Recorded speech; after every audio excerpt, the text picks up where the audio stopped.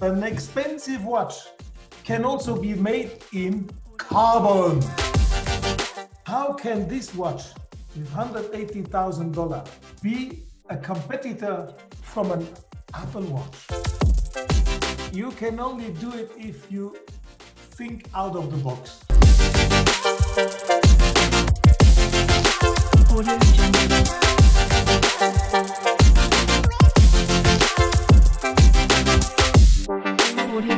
Good afternoon, and thank you very much for joining us today on our uh, Learning from Leaders series. Today, we have the immense privilege to welcome Jean-Claude Biver and Mr. Peter Vanham, author of Before I Was a CEO. I'm really looking forward to hearing all about your experience, Mr. Biver. Peter, the floor is all yours. Thank you so much, Luc. It's good to see you all again and uh, welcome all to our uh, third uh, Learning from Leaders online. And it's a great privilege, as you say, uh, Luc, to uh, welcome today a veteran, as he calls himself, from the Swiss watch industry. Uh, his official titles are non executive chairman of the Swiss or the, the watch division, the whole watch division of LVMH. LVMH, of course, the um, uh, large company, uh, uh, luxury group Louis Vuitton, Moet Hennessy, and many others, as well as uh, the chairman of Hublot and Zenith, which are two very famous uh, Swiss watch um, brands. That is Jean-Claude Biver. Welcome uh, to you, and, and thank you for joining us. All right. Can you hear me now? Absolutely perfect. Okay, so I wanted to say thank you for having me uh, on board. Thank you for giving me the privilege to talk to the students. Uh, it's my privilege, and I hope it will also be a little bit the privilege of the students. So I'm really looking forward for this uh, great time. We have one hour or two hours, whatever. Uh, I can stay long. I'm at home. I can have drinks. I can have uh, hamburgers, whatever. So I can stay uh, the whole night. But We'll uh, start. We'll start with an hour. Uh, okay. excellent. Thank you. Uh, I'm gonna, and I promise to to uh, to pay respects to you. You're of course uh, a French speaker. Normally we would call you the Mr. Biver, but you kindly accepted. I can call you Jean Claude. Thank you so much for that. Uh, I want to dive right into it, uh, Jean Claude, uh, because we're going to talk about your life and your career and all the amazing lessons uh, and adventures that you've had. Uh, but of course, we can't escape from the fact that we are still meeting at a time of crisis. Uh, the coronavirus is still keeping many of us locked down and is certainly impacting many industries, including also the luxury industry, of course, in which you're uh, you've been active basically your whole career. And I just want to ask you, as so many brands are suffering, so many companies are suffering, if you were in charge of a, a luxury company today, uh, what would you be doing uh, as a reaction to the crisis? I would be extremely active. Number one. Uh, usually in in big crises like the one we have, people are in panic, and when they are in panic, they nearly don't move.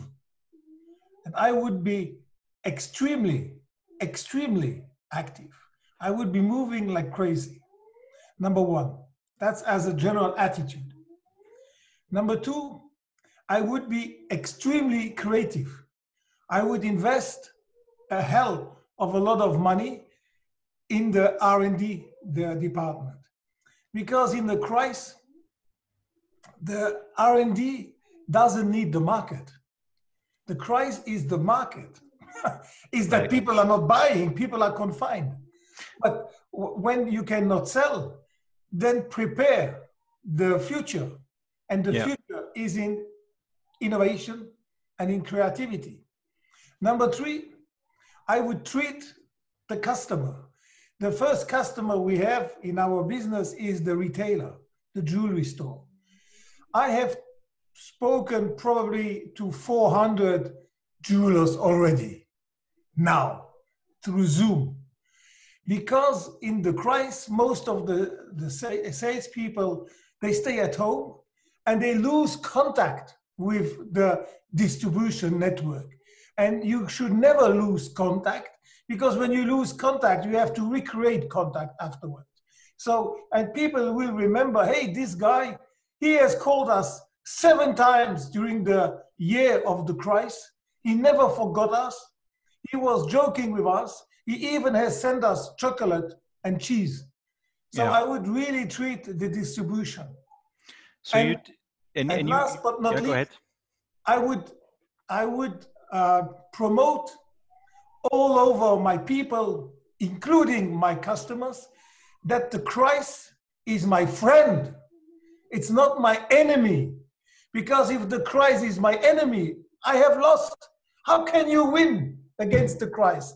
So take the Christ with you. Say to the Christ, hey, Christ, from now on we are together. Tell me, how can you help me? And in the Christ, there is huge energy. The problem of the Christ, the energy brings you down. So all you have to do is at a certain moment, take the energy and bring it up. It means in the Christ, there are opportunities. And these opportunities, you must take them with you. It's like in the Tour de France, this is a cycling uh, uh, uh, uh, concourse in French. Uh, when you are in the Alps and it's very steep, it's not like in Holland, flat, it's steep, like in Alpe d'Huez. And suddenly you have wind, 80 kilometers wind in the face, you have snow, it's cold. Hey, that's the moment where you can take an advantage To of accelerate. competitors. And I know, by the way, uh, Jean Claude, that, that you make that analogy uh, uh, not out of nowhere, eh? because I know that you are a, a, an, an avid cyclist. You like to, to, to ride the bike, so you know what you're talking about. Um, and the other thing is, you know, you, you take the, the words out of my mouth. Um, you say the crisis is also an opportunity. Uh, it's an opportunity because this is the moment when, if you can, you should accelerate and sort of make sure that the next phase is going to be better.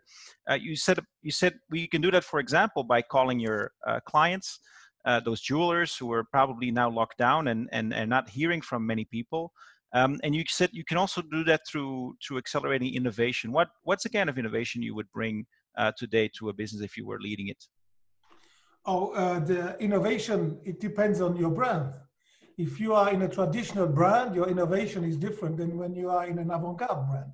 Yeah. Uh, the innovation in Hublot, I would really put a lot of, uh, uh, which we do, by the way, which we did, uh, a lot of investment into the development of materials, new materials, which give birth to new colors. Uh, in a watch, the material gives you the color. How can you make a, a, a watch that is red? Just because you, you have developed a red ceramic. You cannot paint the watch. You can paint Yeah. a, a wonderful house in the color. Is there is there is there and, and and we're going to talk about that later on but is there a specific um, lesson that you can learn from the crisis if you run a watch division uh, you know we've seen of course many people going online on zoom that's a clear uh, innovation uh, when it comes to meetings or to conferences but for a watch what what would the learning be or the innovation be uh, from a crisis like this one uh, uh, for the for for designing a watch? You know uh, you uh, you must think what how is the um, psychology of people during a crisis. In the crisis people will need love.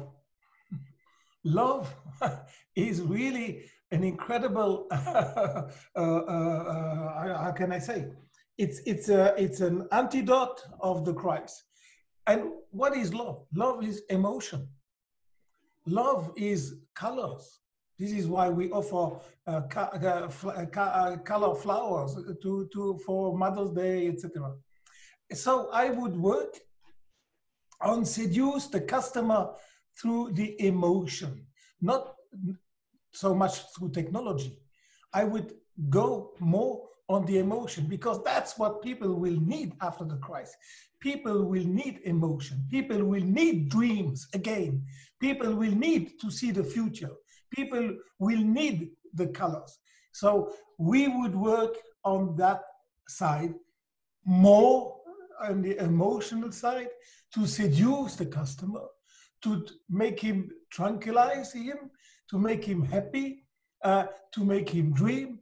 That side of the R&D I would emphasize, yeah and not so much on technology. And it's an extremely uh, interesting but counterintuitive insight, isn't it? Because right now, a lot of people, their first reaction would be to say it's all about technology, and actually, you say that's not quite right. It's it's more about emotion. And I think that uh, for a lot of people, they will they will agree with that assessment after you made it. Maybe one last question about it, and then we move on to your career lessons because I think they're so inspiring. Um, I can already see a couple of people asking in the chat also. You know, what if you're in the situation that you have a store? Um, one of your clients and you've had to close your store for several months and i know we all know examples like that people that have been suffering because of course they haven't been able to, to make any money in the last couple of months. Is there a responsibility for um, you know somebody like uh, you know their suppliers if they if they have a little bit more of a buffer uh, to do something? Is there is there anything that we should do the one for the other to help each other out? And what does that translate to in terms of business uh, relations Okay, to, to come back on uh, R&D with emotion and technology, uh, I would emphasize more now on the emotion, but also uh, never forget the technology.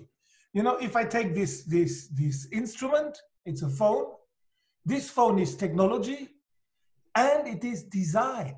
And design is emotion. And today, if you would have colors, if you were a little, you know, that would be the right thing for the Christ. In the Sure. Christ, you don't necessarily want black. Maybe you want rose or uh, light blue or with a heart or flowers, whatever. That was just uh, the, to to add Yeah. to the. of course Now, what would I do if I would have a store? We have stores. We have hundred more than hundred stores all over the world. So what did we do? Because I can give you a practical uh, answer of what we did, and uh, we did it mainly in China, in Hong Kong, in Taiwan, but also here in Switzerland. We have a customer, a customer base that are registered, and we uh, final customers, the doctor, an engineer, whatever. We have called these people and we said to these people, our store is closed. But for you, the store will be open. Only for you. The store is 200 square meters. You will be alone in the store. And we will pick you up. We will give you mask, gloves, everything, and the store is yours. And you can choose uh, uh, between 8 o'clock, 8 a.m. midnight. And this, you can come with your kids, you can come with your wife, you can come with your cousin, with your brother. So we had the whole day, we had, I don't know, 10 customers because each one stayed nearly an hour. But only 10 customers, while usually we have 80 or 100. But at least these 10 customers, they will always remember that Hublot gave them the opportunity to come and to stay one or two hours and to be served like a king just for the customer. yeah We in one day we sold a watch for one million, for one million dollar in one day to one customer. He bought a one million dollar watch. So this is a typical strategy uh, that you can that you can do that we did. It's not a, theory. It's Yeah. what we and of course you know for business people and people that are in in in uh, stores you know that's what they do. They they uh, they're there for their clients. And so that's a very practical example and i want to thank you for it. You know jean-claude shifting gears a little bit you know you are known as the man who saved the swiss mechanical watch. And you've of course been an, an, an icon almost of uh, switzerland for many many years. But that's not where your story started isn't it? I think you're from closer from where i am uh, which is to say from uh, from uh, Luxembourg, isn't that right? Yes, I'm from Luxembourg. You are from Holland or Belgium? I'm from Belgium. Ah, from Belgium. Ah, I'm Yeah. a good friend of Eddie Merckx. That's fantastic. Um, I, I had a run with him, a few runs this summer uh, in July or August, together with him in the mountains. Uh, Eddie Merckx, for those of you who don't know, he's actually the one who uh, won the Tour de France five times. Jean Claude, but so you came from uh, Luxembourg, and at some point in your life, you must have made the decision to move to Switzerland. When could you tell us when that was and why that was? Oh, it was not my fault. You know, my, my parents decided to move to Switzerland and to put the two kids into a boarding school in Switzerland. That's how I landed in Switzerland when I was 10 years old. Yeah, So it And was so you- my decision. It was my parents who thought that the boarding school in Switzerland would be good for my education. And it was very good for the education. And uh, I loved Switzerland so much, and I developed my personality, my friends. So when uh, I had the opportunity to move back home, I said to my parents, I don't want to go home. I Yeah. want to stay in Switzerland. I want to go also now to the next level, which is university. And I want to go to a Swiss university in the same city uh, where I was in the boarding school. And that's how I, I started uh, in Switzerland. And I loved it so much, and I'm totally integrated. I have been now living in Switzerland 61 years. Uh, I am 71. Uh, 61 years in Switzerland, and I am Swiss. My Yeah. kids are Swiss. My it takes a while to become Swiss. Uh, I think it's about 10 years. I know I'm at the beginning of that journey, not at the end. Uh, but Jean Claude, so you uh, you went to university in Switzerland, as by the way are, are many of our viewers. Um, and and then afterwards, I'm sure you had the opportunity to say, well, I'll I'll go and discover the world, and and and surely many people have done that uh, that studied with you. But instead, you chose for a rather less glamorous future, didn't you? Because I think you joined quite soon after you graduated uh, a, a Swiss uh, company that was making watches, and instead of sending you all around the world to, to live a life of glitz and glamour, um, you learned how to how to make watches. Isn't that right? Yes, you know, I had um, I had a degree. I had the best degree a school uh, that you can get, the highest. What is it? It's my passion. if you are passionate, you don't need necessarily a diploma. passion is so important, and passion is such a drive that, except in, in certain uh, uh, uh, if you want to become a doctor or like that, okay, you need. Uh, but in I, I studied business, so uh, uh, I had a passion, and I said, as I have a passion, I'm so lucky to have a passion. Let's go and stop studying and develop your passion. And then I had the chance to to uh, to go into a watch brand to be employed in a watch brand called Audemars Piguet. And th- there, the boss, the CEO, said to me, listen, you're going to join my company, but during one year, you will have no office, no phone line, no name cards, no marketing uh, uh, duties, no commercial duties, no traveling, no assistant, no nobody. And I said, but what will I get? He said, you will get an education. You will be during one year, you will work and or, uh, assist and learn at each degree of the production process. I said, what will I do? You will do nothing. You will just sit and look and listen. And slowly, slowly, you will learn. And you will learn the mentality of the people who are making the watches. You will learn uh, uh, uh, what they like. You will, uh, you will learn where they live. You will sp- play football with the team. I said, Yeah. "Wow." And I came back home and I said to my wife, what a shit. This guy is giving me half salary only. And I have no business to do. I cannot travel. I have even no name card. I have no phone. I have no office. What do you, shall I accept this? And we decided that I should accept it. And I accepted the work to work during one year, being paid half salary and doing just nothing but assisting people, looking at people stupidly what they were doing. Yeah. And like the, and that was the biggest asset I ever got because I I entered the world of making watches, Yeah.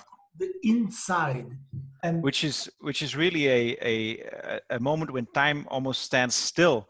Uh, Yeah. It takes a long time to make a watch, and of course, it's it's done also in a valley in Switzerland that is it is not the big metropolitan area, not the, the New York or Switzerland. It's a it's a it's a village. It's small villages village. where, where people the work in silence. and it's cold and there's even uh, in in our days there was no there was no cinema there was just a church uh, Yeah, uh, and the closest uh, cinema was uh, it was not so far away but it was 30 kilometer drive to go to a, to see a movie. it I must know. have been special to, to see a movie then but so but so you it, one of the lessons i think is that you know afterwards you did of course uh, become a, a traveler and a salesman and a, and the ceo even of several watch brands but it all starts with a solid foundation and and sometimes it's worthwhile investing that time in order to really get to know um, a product or or uh, your your industry now um, of course a couple of year, years later uh, something quite disruptive, I think, happened in the watch industry. Switzerland was known for many years for its for its uh, watches, for its mechanical watches, and then you had all in a sudden this this disruptive innovation from Japan, which was the quartz watch. It was a new way of making watches. It was much cheaper, and it really took the world of watches by storm. Hard to imagine now for for us as we live in the age of uh, uh, phones, etc. Et um, but it really was a, a big change. And rather than saying, again, counterintuitively, you said rather than adopting that new technology and saying this is the future, you actually said, I don't think that's right. I've seen how, how people make watches in this little village. And I think there's something very worthwhile in it. And I'm going to double down. And, and I think what you did then is even say, I'm going, I'm to even buy one of these mechanical watch uh, brands. Isn't that right? And could you tell us a little bit more? And, and why did you do that? You know, I uh, when I was uh, uh, living in the commune, I was a hippie in 1960, from 67 to 71. We were reading uh, uh, Mao, we were reading Confucius, etc. Um, and Confucius said, "Only the dead fish swims in the speed and in the mm. direction of the, Of the stream. Of the stream. The fish that is alive goes against the stream or together with the stream at double the speed or left or right. And we interpreted this by saying, hey, when we enter the world of business, we will have to be careful always to be first, different, unique. Because when you are first, different, unique, you are not with the stream.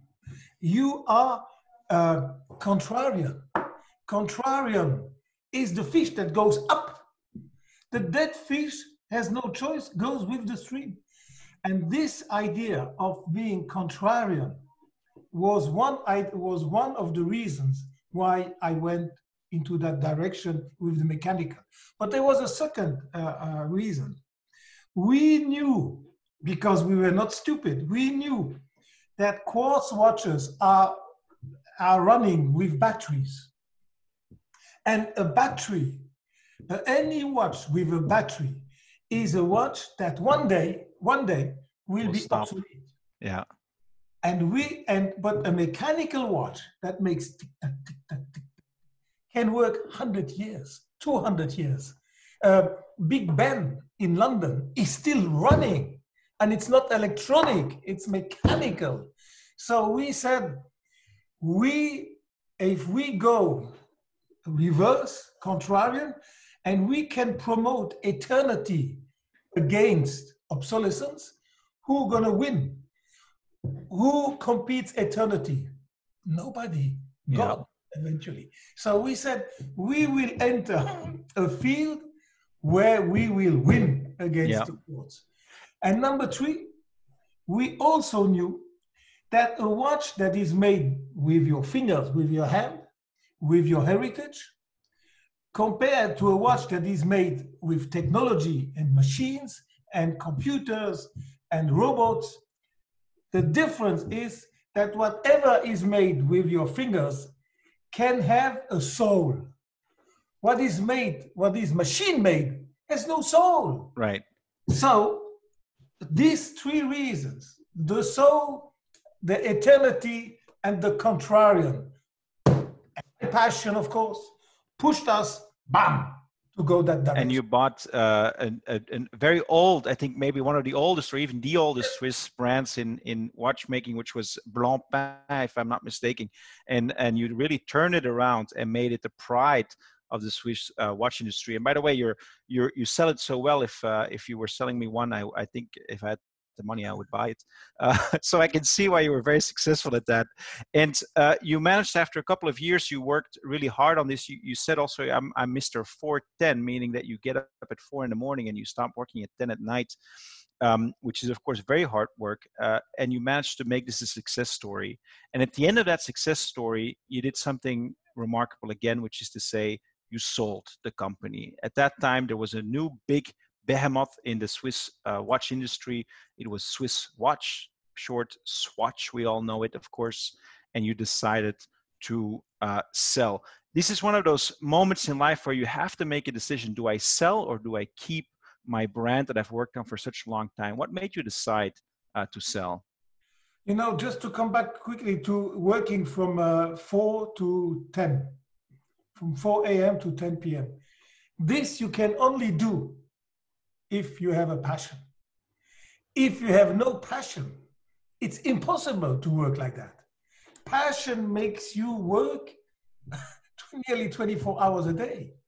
Uh, Cristiano Ronaldo, football player, he, he trains like crazy. He never stops. That's When right. I, when I met him uh, uh, in Manchester United many many years ago, uh, uh, um, he never went. He never wanted to go out of the stadium. You know, uh, he he he he was working, working, working, working because the guy was totally crazy and passionate. He he didn't have necessarily more talent, but he had more passion Yeah. passion brings you to get up at 4 till 10 uh, p.m. That was for sure. Now, what was the question again? Uh, so after many years of uh, yeah, making yeah, sold, yes. you sold. You know, uh, in 1992 came a big um, uh, crisis. Um, uh, interest rates went up to 9% in Switzerland. In other countries, it was even more 9%. I had made a deal, uh, a contract to buy manufacturer called Frederic Piguet, uh, producing the movement. This deal was done for 20 million.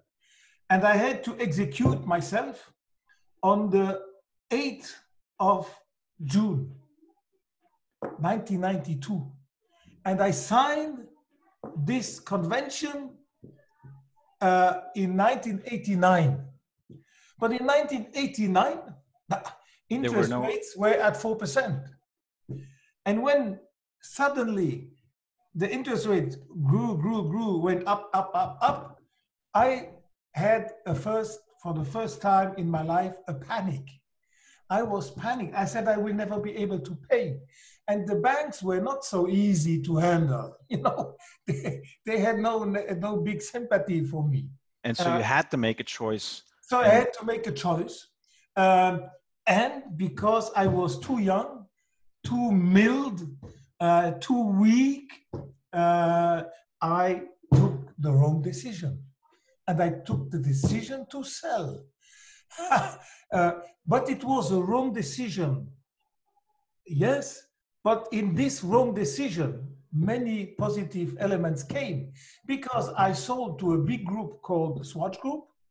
I became member of the board, so I got another experience than being the boss of Little Blancpain. Number two, I got the responsibility to handle Omega. I brought James Bond into Omega. I brought Cindy Crawford in Omega, and Omega was a huge brand. So I learned so much. So in a certain way, if I would not have sold, I would never have had so much experience. I would never have seen the world in the same way. And thanks to this, I when I left in two, uh, in uh, 2003, I was was capable to buy Hublot. Yeah. If And- I would not have sold I and that's sometimes you, you can't predict the future of course and you might say at some point if i look back you know that was a bad decision or that was not the right decision but you don't um, you don't stick with that moment. You say, you know, there is beauty also in taking another path than that the destiny path, and you still find opportunities and you still make the best of it. And you gave some examples, um, like for example, Omega, of course, uh, being a very famous watch brand. That's sort of a rite of passage. If you're in the New York in the finance industry, you have to have an Omega. Um, so you have that experience of of working with uh, a bigger group, working for different uh, watches for many years, learning from a, a, leader, I think Nick Hayek, who, who led that uh, company. And then many years later, you said, I want to do it all again. I want to I want to buy again another watch uh, brand. And you did that with Hublot. And, uh, and, and Hublot is a very different because, of course, we don't know all these differences between watches if we're not experts. Uh, Blancpain was an, an, a classical watch but uh, Blancpain was, was, was not, Blancpain had been sold and closed in 1959. And you revived? From 1959 till 1982, when I bought it, there was no activity. And yeah. when I bought it, there was nothing to buy except the name. The name. There was no no no no no no company, no manufacturer, no uh, no uh, benches, no people, no contracts, no collection, no distribution, nothing. Just yeah. the name. From the ground up, you build it. So, but but that one you build up on the idea of the classic mechanical yes, watch. Yes. Um, and Hublot, you took into a different direction. Of course, it's also a mechanical watch, but it was much more founded on innovative uh, ways of making watches, innovative looks, and also a very distinctive uh, marketing strategy where you said, I'm going to target young people. I'm going to target before the word was invented influencers. Um, yes. and, and the culture is going to go up from the influencers that are young and that may not be able to afford to watch to the real target audience, which are people that can afford that watch. Can you tell us a little bit more about that process and, and, and what that looked like? Yes, uh, the, uh, the, uh, we gave to Hublot a very special message, which I called the art of fusion in the watchmaking industry. And what is fusion in the watch industry? It's when you mix tradition and innovation. You know, uh, uh, uh till we decided, till we developed Hublot, expensive watches they were either in yellow gold, white gold, which is gold, or rose gold, it's still gold, or platinum, or steel. So mostly, I can say 90% of the luxury watches were produced in five materials. In fact, rose gold, white gold, and yellow gold is still gold. So that's one material. Platinum is the second one, and steel a third one. So it was in three materials. And how many colors these three materials have? yellow and white. So more or less on two colors. And we said an expensive watch that retails, let's say, for $100,000 can also be made in carbon because carbon is the material that goes to Mars uh, and gold is the material of Tutankhamun. So what do you want? Do you want the grave of the pyramid of Tutankhamun who died 3,000 years ago? Or do you want the material that goes to Mars? Young people will tell you, I want to go to Mars. I can go later to the pyramids and to see Tutankhamun. So we have, we said, we're going to fuse the carbon that is the future and the old technique of making watches of the movement. You know, you can see, I don't know if ah, Yes, yeah, yeah, we can see it. Ah, tac, tac, tac, ah, that's beautiful. So we said that is the fusion. We will marry tomorrow and yesterday and bring them yeah. together. And that would, that this story would apply and would be understood by young people. Old people like me, they would not understand. How can you make such an expensive watch? And it's even not in gold. My goodness. So what we in, so the fusion was really the message that made Hublot successful and so different because now we have watches in red ceramic, the same red color than uh, Ferrari. We are partner with Ferrari. We, have been working eight years to develop a red ceramic because ceramic is heated at 2000 degrees It's very And- difficult. and red at a certain moment this red pigmentation is burning at 2000 and becomes a bordeaux or a little bit rose but not the right red of ferrari Yeah. but eight years to develop this red color And Now- and you managed to do it. Uh, And- exactly and now you can buy a red watch for $100000 put it on your wrist and you have something extraordinary yeah. people who are old, people who are traditional say, oh no, can I have it also in gold? But I would never wear it in gold because gold is, you know, it doesn't appeal so much to, to modernity, to our today lifestyle. Yeah. So Hublot became a kind of lifestyle watch, a luxury lifestyle watch, especially that we went, uh, we said we're going to follow the customers wherever the customer goes. If Jay Z is somebody who is influent, we must make a watch with Jay Z. If uh, Virgil Abloh is making a watch, uh, uh, is influent, we must be with uh, Virgil, uh, etc. We went to to uh, uh, um, my um, uh, uh. Yeah, and it's something that you did, didn't you? Because you you did go to those influencers avant la lettre, uh, and you also applied uh, that same innovative approach to uh, your marketing techniques. Uh, to give a few examples, uh, you know, you went to uh, to Las Vegas and you said, "Here's a world championship boxing match going on. What's the best way to to brand our watch? Well, we're going to put the name of the watch on the uh, uh, the shorts of the boxer, and and the same thing you did with uh, football, with soccer, where you said, you know, are we to are we to buy a shirt sponsoring? No. Are we to buy the bannering uh, on the on the on the stadium? No. Uh, why don't we put uh, uh, our promotion or, or brand on the um, uh, on the on the replacement clock that shows uh, when uh, people leave the field. So you had really some innovative ideas on the marketing front as well. How do you get such ideas? I mean, like, why would you do that? You were, of course, very successful, but it's a it's a it's a very peculiar strategy. You can only do it if you think out of the box. you can only do it if you refuse to do the same as others. You see, why did we go into boxing? Because in boxing, you never, never, ever had a luxury product or watch on the short of the, the boxer. And we said, we will be first, different, and unique. We went to football. Never, ever before did you have a luxury uh, brand presenting the referee board uh, uh, in football because people say, ah, football is popular. Come on, football is also popular, but not only popular. Boxing is also popular, but not only popular.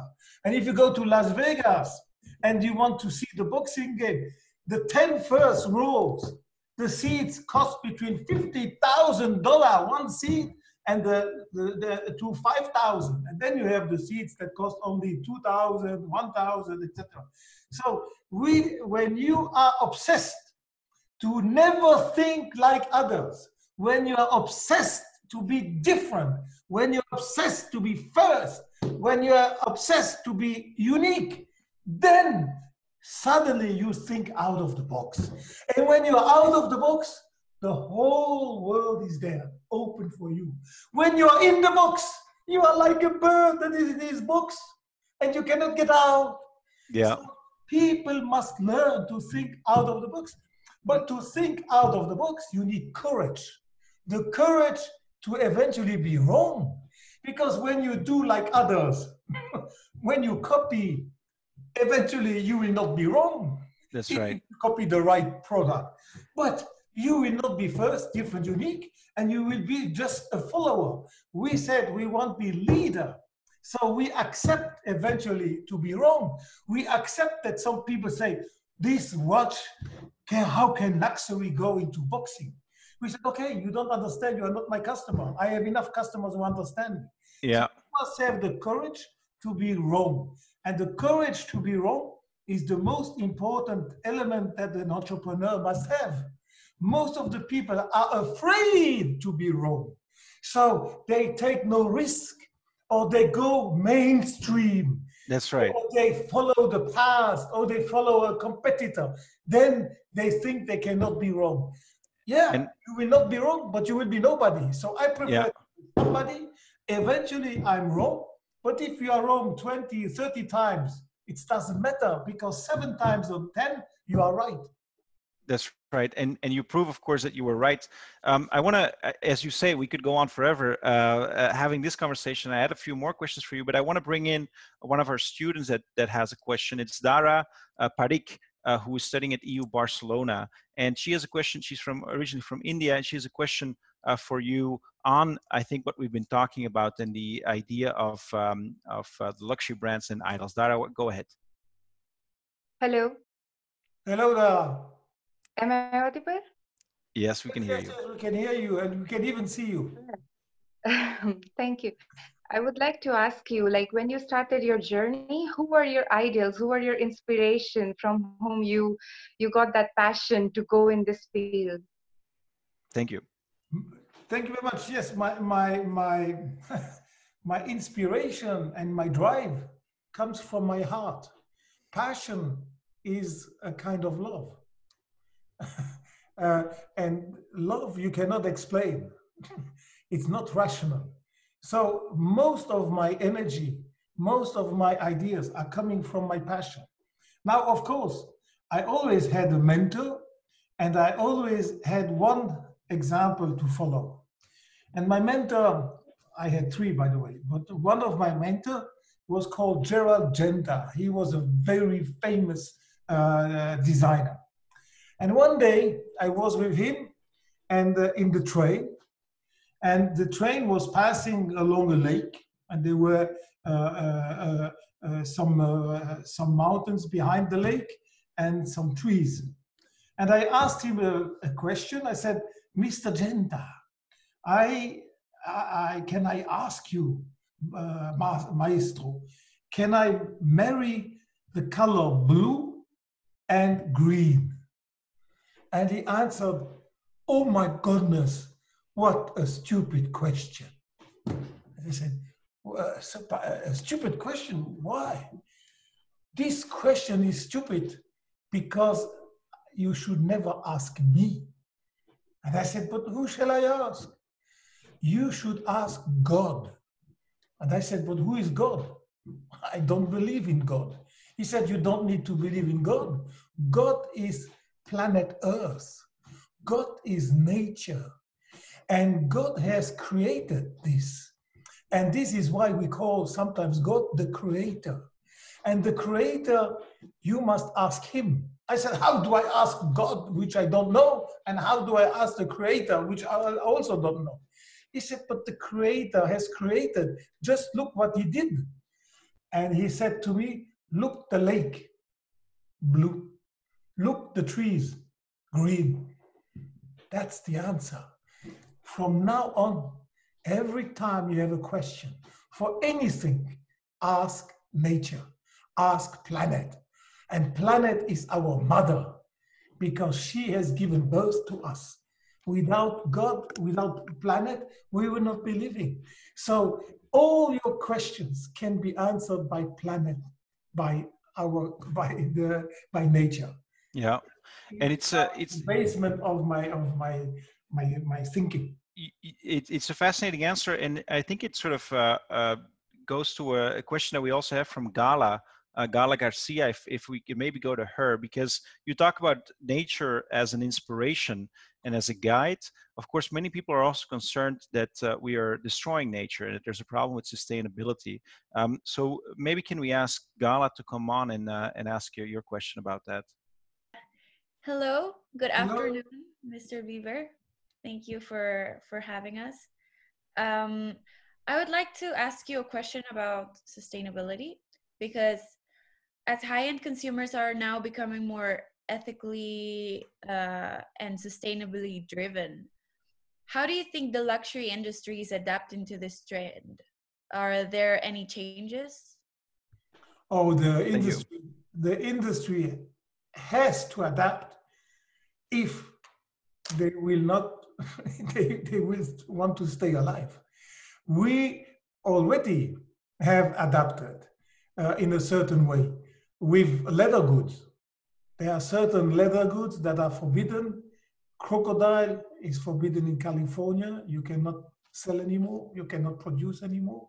Uh, we have to have certifications for certain uh, leathers that this leather comes from a, a, a normal origin. Um, we have rules for gold or diamond. We cannot buy diamond, blood diamonds, you know, we must check uh, how the diamonds are, are, are produced.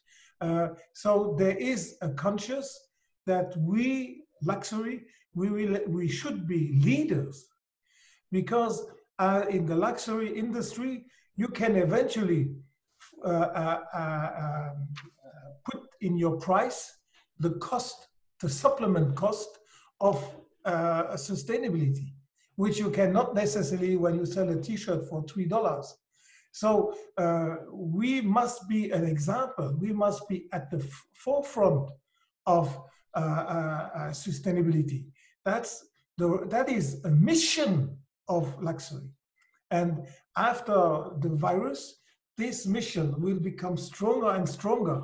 And we must now, the luxury industry, take the lead of sustainability.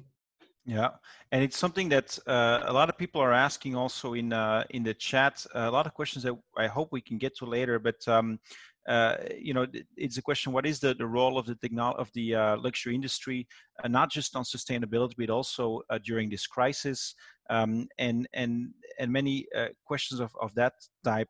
Um, I also heard some more questions about your your mentor and and some examples for you. And then we have Alexandra on the line, Alexandra Bruchanska, uh, who is based, I think, in uh, in Ukraine, uh, and she had a question about uh, about your um, uh, about your choices and and perhaps if you. if you've not only made good choices but also bad choices, why don't we listen to the question from Alexandra? Good afternoon, Mr. Biver. Uh, yes, I have one question to you. If you could start uh, all over again from the beginning, what would you do differently? Oh, I would do 100% the same, nothing different, because all my mistakes, all my failures, all my errors have helped me to develop myself, have helped me to come further. As I said before, I sold Pampa. It was certainly a mistake, but thanks to this mistake, I improved. Thanks to this mistake, I went further.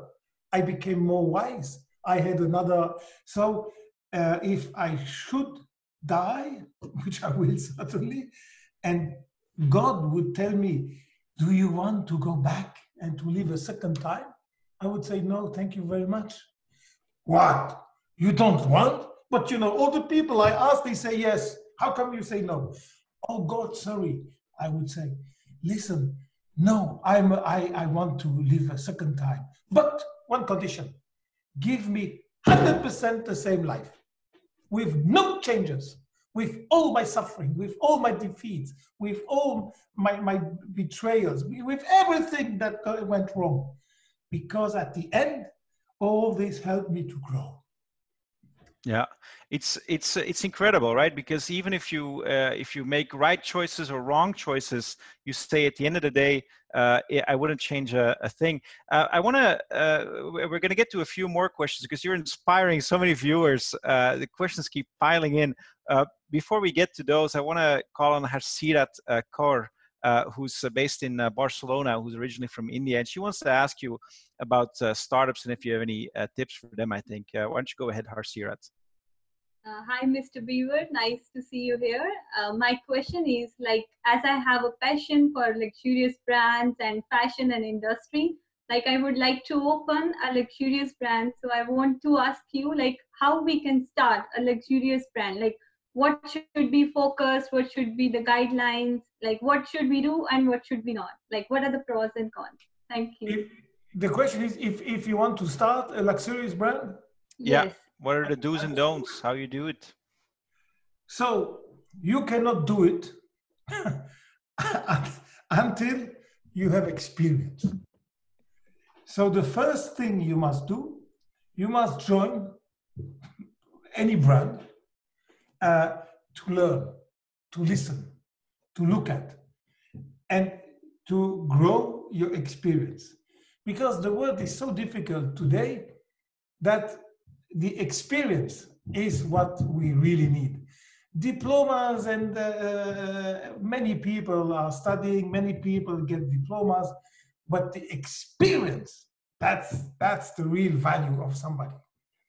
Um, you know, Einstein said, uh, the experience is more valuable than knowledge because the knowledge is everybody can read it. Everybody can learn it. Experience. Not everybody. You can you can be very wise but no experience. So experience is what you need. So don't go into any field. Don't start anything without experience. Yeah. You would say yes mr Biver you are right but there are so many startups. Yes but the startup most of them are technology startups or product driven startups. And that's different because if you are a brilliant engineer and you invent a, new, uh, a, new phone, okay, then you, you, you are in the technology. But in the luxury, it's mostly experience. Yeah, and it's it's something that I think uh, people in other uh, uh, companies in Switzerland and the watch industry understand because if I'm not mistaken, one of the taglines of one of the competitors of yours is to uh, to break the rules, you must first master them, and that goes back to that idea of uh, experience. Nevertheless, uh, you know sometimes you do have to take risks, right? Because you said I I bet big on the red ceramic eight years of development, incredible amount of time, incredible amount, amount of investments, no doubt. Uh, so there's a question from uh, uh, Margarita uh, uh, who, who is doing a master in luxury at the EU, and she asks, "What's the biggest risk, uh, Mr. Biver, uh, that you've taken in your life or in your career, and and how how do you learn to embrace risk with all the you know the negative downsides that come with it, of course?" The biggest risk is not to listen to other people the biggest risk is not to learn. The biggest risk is not to have doubts. uh, you must develop doubts. The doubt is a double check. The doubt is a friend. You must be clear that nothing can be achieved alone. So you must build a team or you must have partners. But it's not necessary to have partners if you don't listen to them. You must learn to listen. You must learn to learn. You must learn to learn. In school, normally you don't learn to learn. You're just learning. The teacher is giving you every day the drink of knowledge. Right. And now I got knowledge. but now I'm not more in school. Who is giving me this? I have to find it myself which I call you have to learn to learn. Yeah. So learning to learn, uh, listening to other people, having doubts, and getting up at two o'clock in the morning and said, "Shit, am I right? Am I right? Will I fail or not?" The doubt is your friend because he will help you to double check. So these are attitudes. And last but not least, you must have the courage to fail. And if you fail, you must see it positively and say, I failed, but I learned so much. I will not repeat this mistake. And how many mistakes can you make in a lifetime professionally? Maybe 100 or 200. And in, in your first stage, in first years of in, when you are in, in, in, business, do mistakes when you are young. Don't yeah mistakes when you're old. because when you are young, you have so many years after. But if I do a mistake now at 71, how many years do I have left to make a correction? Not so many because I, am close to, to, to say bye bye. Yeah. You see, these are the elements you should, you should embrace. So, you know, if you look at your own career, of course, you talked about it already a little bit. Um, you know, you took a little bit of a risk when you started your own uh, company, uh, the first one, but it was not that big of a risk because you paid 20,000 francs, you said, for that company, and you sold it afterwards, I think, for around 50 billion francs, which is incredible. Um, but then the second time around, I suppose you did take more risks, didn't you, with, with Hublot and, and the expensive um, bets that you, you made then. Could you tell us a little bit about how, how that journey went and, and how you managed in a much shorter amount of time to get to success despite investing so much uh, money and, and making such risky bets? You're right. Uh, uh, uh the, the risk with Blancpain was small because we bought the brand for 22,000 Swiss francs. And the risk was also small because I didn't take a salary from Blancpain. I was working during the night at the post office. So I had the salary from the post office, uh, working from 8 uh, p.m. to 5 a.m. every day. And then I go to work at, uh, at in my company. So I had, we had nearly no salaries to pay. Uh, we were renting an old farmhouse that we were paying 300 euro per month. Uh, so the risk was very small. Yeah. Because we had nothing to risk. uh, uh, the the second one with uh, with Blancpain, uh, with Hublot was naturally a little bit bigger because when we bought the company, the company was already doing 26 million turnover, which is nothing compared to 14 years later. Now we are making 700 million. So we went to from 26 to 700 in 14 years. Uh, we went from 2.6 million losses to more than 100 million profit in 14 years. Uh, and, and we took relatively little risk because we never borrowed money. And yep. we said, if we need three employees, let's take only one and ask him to work like three and to give him double salary. that's I'm, I'm, sure that's when you need three people only take two uh, only take one and give him double salary he will work like three easily so yeah.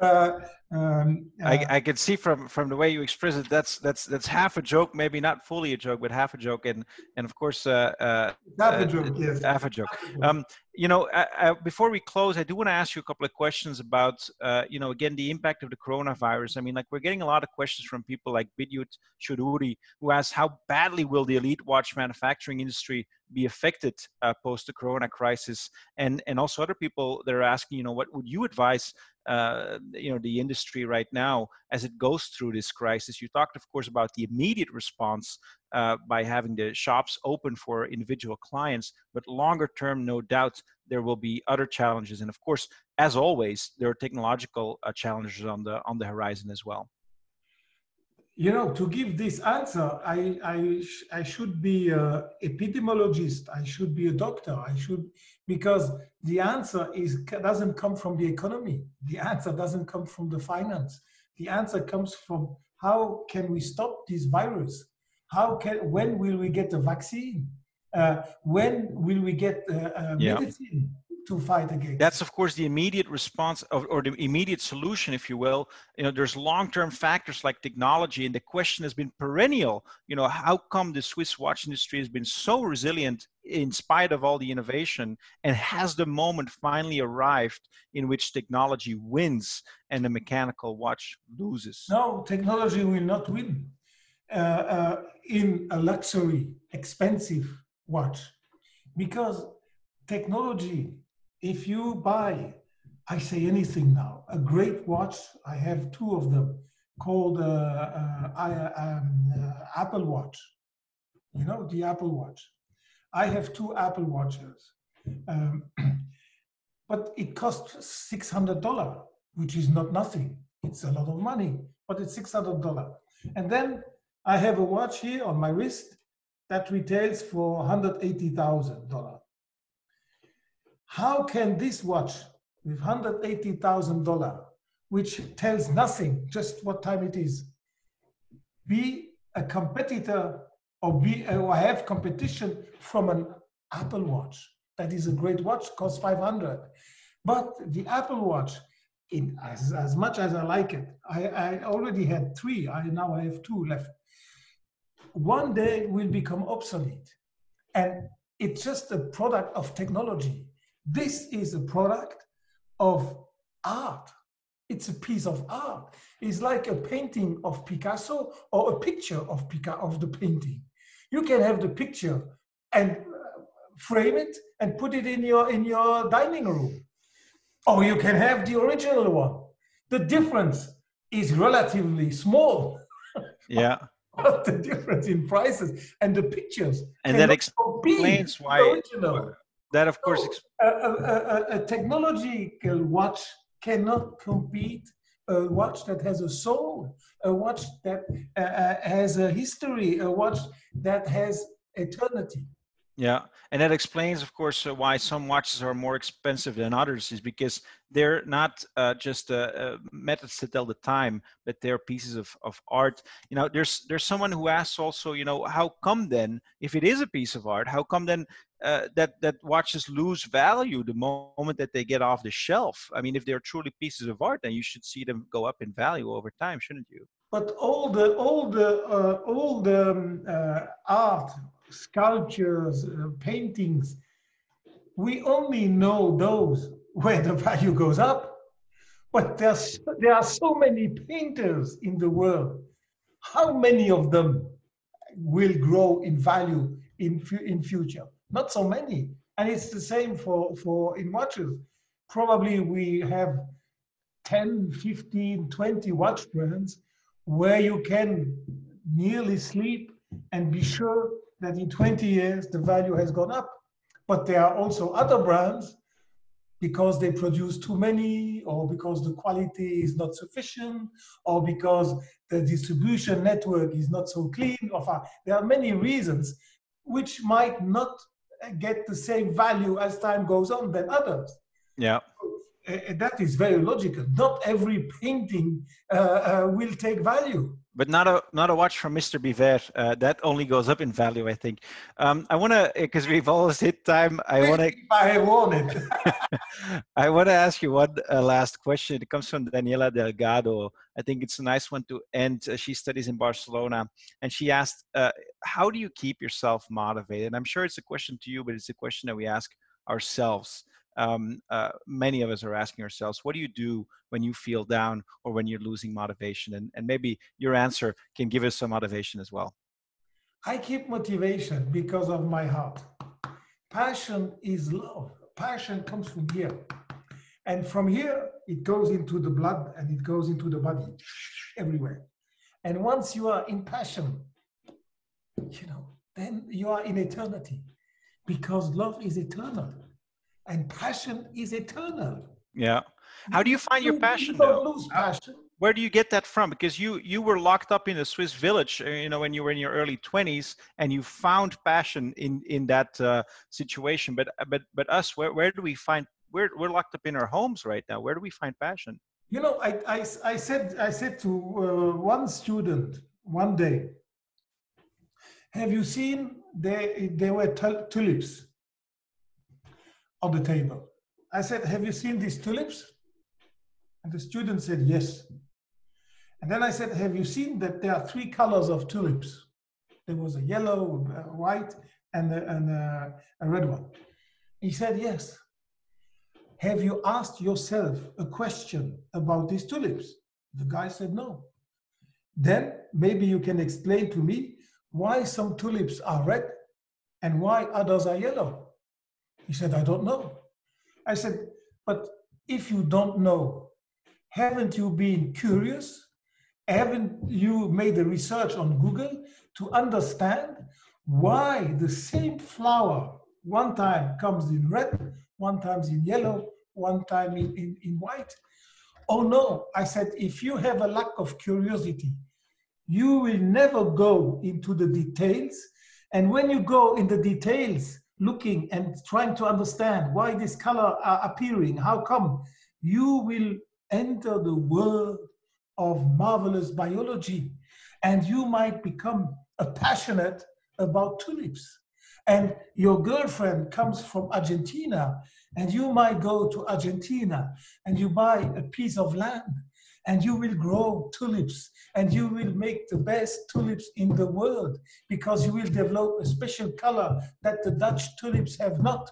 And you will make a fortune and you will live uh, happy with your passion. Yeah. So, but if you have no curiosity, if you are not asking questions, your passion will not come because not everybody is born with a passion. I was also not born with a passion for watches. I developed it. Yeah. And I developed it because I wanted to develop it. And I wanted to find in the watch my steam machine, which I loved when I was a little boy. And I said, if, if uh, as a little boy I had a toy which is called a steam machine, now as an adult, which how is my toy now? It cannot be the same steam machine than when I was a baby. So the watch is probably a steam machine with a little bit of imagination. Yeah. The watch, the, the from the tool of the baby, which was a steam machine, has grown and has become a watch. And the little baby has grown and has become an entrepreneur.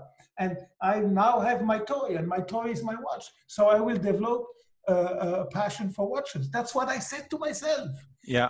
In order to get the the the uh, to go into your passion, I was reading, I was asking questions, and people say, "Ah, you like it," and and slowly, slowly, I got infused by passion. Yeah, no, it's true. And, and I think it also answers another question that we received, which is what is the number one characteristic to have when entering the industry? I think it's quite obvious that your answer is passion.